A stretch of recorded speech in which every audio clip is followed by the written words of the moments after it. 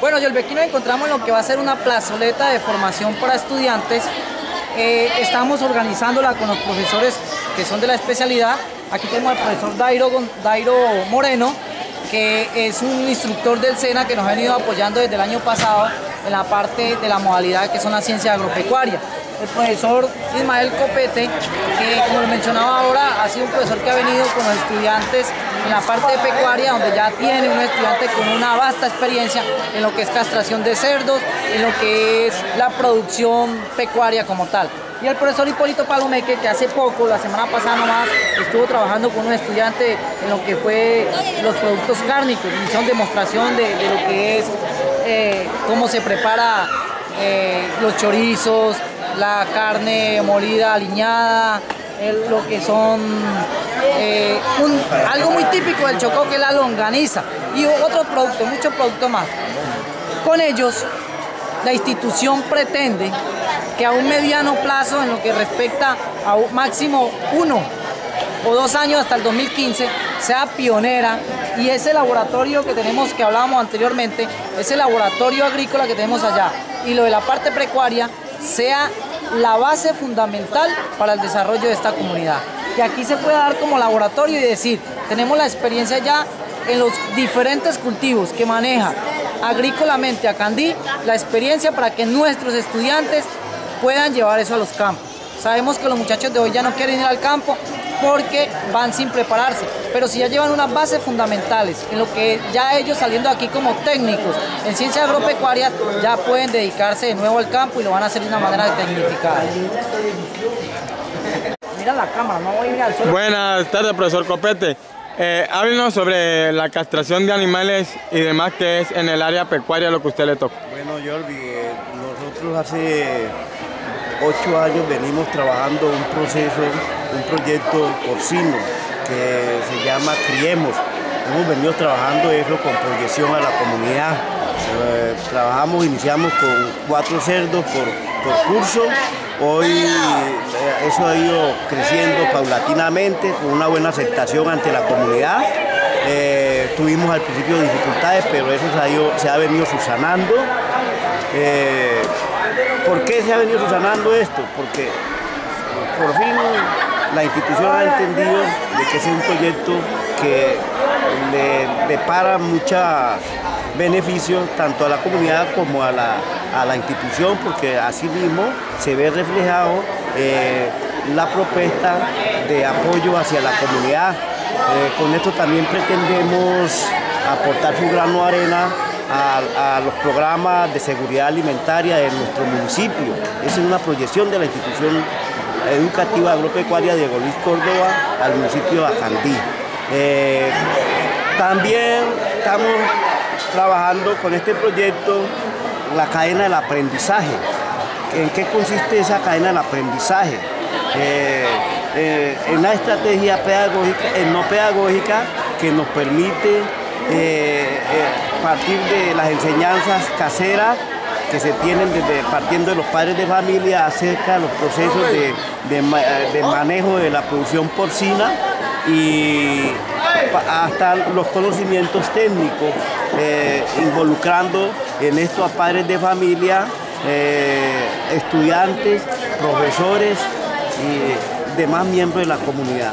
Esto ha tenido una una acertación bastante buena porque hoy por hoy comenzamos con cuatro y hoy por hoy en este año castramos 64 cerdos que usted ya lo puede significar eh, cuánto nos produce eso si los llevamos a kilogramos eh, en producción de carne que eso redunda en beneficio de nuestra comunidad. Son los estudiantes los que han castrado eso ya es 60 y pico de cerdos que usted nos está contando. Bueno, eso obedece al trabajo que vienen haciendo los estudiantes. Los alumnos que de 11 y décimo sirven de apoyo a los alumnos que están haciendo octavo. Por eso denominamos este proyecto la cadena del aprendizaje. Eh, los, alumnos de cuando están en 800 aprenden a castrar y le enseñan ese mismo proceso a los alumnos que van a ser próximos eh, eh, el año siguiente octavo y viceversa. hasta llegar a 11, donde ellos se convierten, donde los alumnos están en capacidad de hacer trabajo. Por eso hoy en la institución existe el grupo de asistencia técnica con proyección a la comunidad, ya están ganando dinero, hacen trabajos en la calle eh, y esos trabajos redundan beneficio porque ya tienen unos recursos a partir de esa enseñanza aprendizaje que han adquirido en esta institución. Bueno, yo en este momento aquí el profesor Dairo Moreno, instructor del SENA, que nos viene apoyando desde el año pasado, como lo repetí anteriormente, y el profesor Hipólito Palomeque, ellos nos van a hablar en este momento de lo que ha sido desde hace aproximadamente tres años la articulación de la institución educativa Diego Luis Córdoba, nuestra institución, con el SENA, una entidad comprometida con el desarrollo de nuestra institución. Entonces, primero, profesor Dairo, la articulación del SENA con, nuestra institución. Coméntenos usted cómo ha venido ese proceso y cómo se ha desarrollado hasta el momento. Sí, eh, muy buenos días para toda la comunidad candilera. El programa de articulación consiste básicamente en un convenio que formuló el Ministerio de Educación y el SENA a nivel nacional con la finalidad de fortalecer las instituciones educativas dependiendo de la modalidad que ellas promueven. Como es el caso de Acandí, acá existe la modalidad agropecuaria. Entonces, por esa misma razón, el SENA envía a un instructor en el área agropecuaria para que en coordinación con los docentes de la modalidad fortalezcan la institución, es decir, los alumnos que están en el grado 10 y grado 11, además de ver sus asignaturas común corriente que ven en la modalidad, en el SENA entran a profundizar y a fortalecer e-, ese, esos conceptos. Entonces, los alumnos que lleguen a aprobar el trabajo con el SENA, además del título, título de bachiller agropecuario que le otorga la institución el SENA, le otorga otro título como es el título de técnico en producción agropecuaria. Básicamente, en eso consiste el trabajo, simplemente se les pide a los muchachos mucha responsabilidad y compromiso. El alumno que cumpla con esas cualidades será promovido. El alumno que no cumpla con las cualidades, pues no será certificado. Básicamente es el proceso. Profe, eh, Hipólito Palomeque, ¿cómo le ha parecido la inclusión del SENA en la institución agropecuaria Diego Luis Córdoba? Eh, sí, eh, primero que todo saludar a la comunidad, a este importante programa que, nos, nos, muestra como institución realmente lo que nosotros estamos haciendo. Eh, es muy importante conocer desde todo punto de vista cuáles son las asignaturas propias de la modalidad para que los padres de familia que no tienen conocimiento entiendan realmente qué es lo que acá nosotros hacemos. acá se ve producción agrícola, producción pecuaria, agroindustria, gestión empresarial, taller, maquinaria y construcciones. Eh, producción agrícola y producción pecuaria se ve como fundamentación de los grados de sexto a noveno. Igualmente se ve producción agrícola, producción pecuaria, agroindustria, gestión empresarial, taller y maquinaria en la media técnica que ya es 10 y 11. Eh, nosotros en la media técnica es donde el alumno eh, empieza con unos proyectos que son dirigidos y en 11 los proyectos son supervisados, porque se supone que ya el alumno es capaz de, de, hacer y saber hacer, que esa es la política de Estado.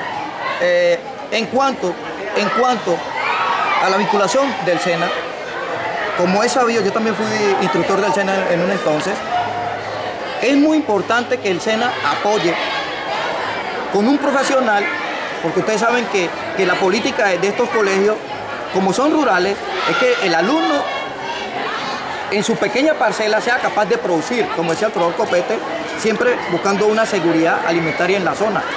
Eh, la, invitación y, lo que tiene proyectado el gobierno como tal con el SENA es, un apoyo bastante significativo, ya que todos nosotros apuntamos a través de la modalidad en estas instituciones de que el alumno salga al campo laboral.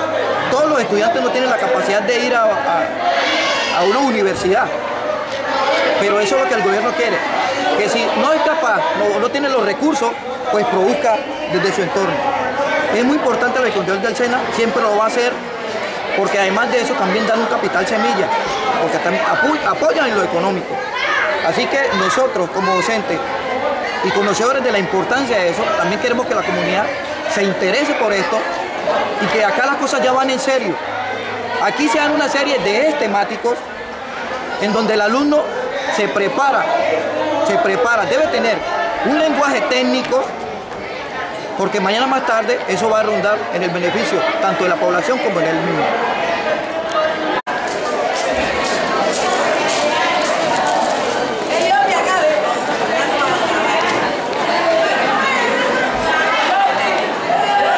Bueno,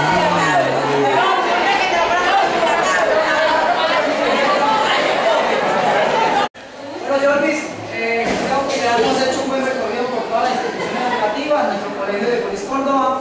Queremos agradecerle al canal Acandí TV, a usted personalmente, Jorvis de la Cruz, muchas gracias por la invitación a su programa, al profesor Pánfilo Córdoba Perea, nuestro rector, al profesor Pulgarín Octavio, coordinador de la institución, a los docentes de la especialidad, un saludo especial a todos los docentes de la institución. Muchas gracias a la comunidad educativa, a nuestro municipio de Candil.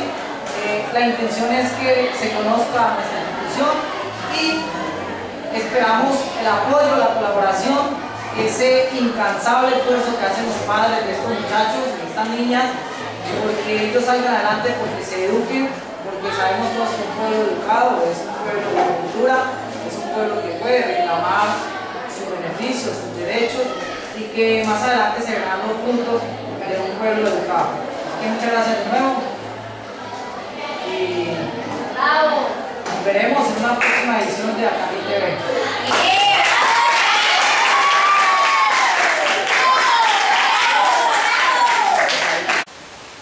Esperamos que el hombre ya no piense más en la, en la depredación de, de, estas bellos, de estos bellos pulmones que tenemos en este punto. Todavía se conservan y, y Dios quiera sigamos manteniéndolos en este punto tan hermoso y no hagamos deforestaciones en estas áreas. Ya ha sido suficiente con lo que se ha explorado.